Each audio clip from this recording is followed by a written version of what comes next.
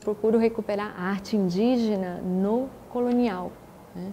Então, procuro trabalhar também com o que, que os jesuítas ou outros viajantes no período colonial, outros missionários, deixaram é, registrados sobre as artes ou os materiais utilizados, as tradições ou os artistas indígenas num contexto antes da implantação da missão e também dentro da missão. Então, cruzando um pouco esses dados. O barroco cifrado é uma imagem, na verdade, para indicar um barroco compósito, não é? Isto é uma, uma forma de arte, uma forma de produção que, não, que, que junta, digamos assim, vários tipos de intercâmbios culturais. O próprio nome, na verdade, do projeto Barroco Cifrado vem com a inspiração de um de um livro publicado em 1930 é, de Raul Bopp chamado é, Cobra Norato, em que essa, é, esse personagem sai né, na floresta,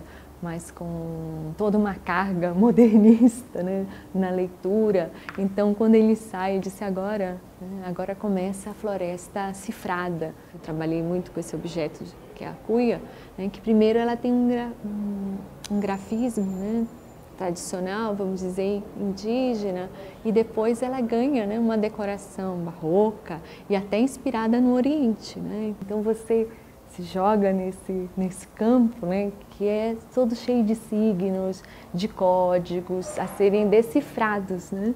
Na, na, então, em São Paulo, né, o que eu vejo aqui, né, você vai visitar Barueri e você está no meio de Alphaville. Né?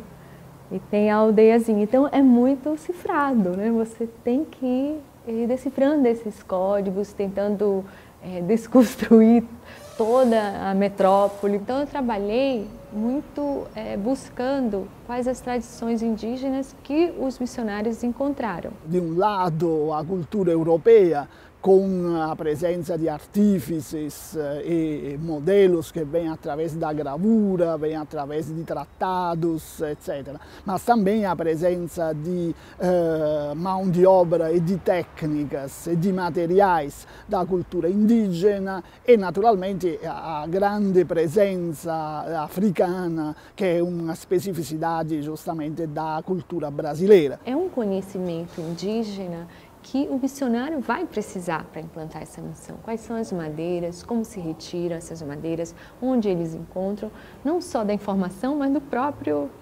indígena, do mestiço, da, da figura que conhece aquela geografia, o lugar, aqueles materiais.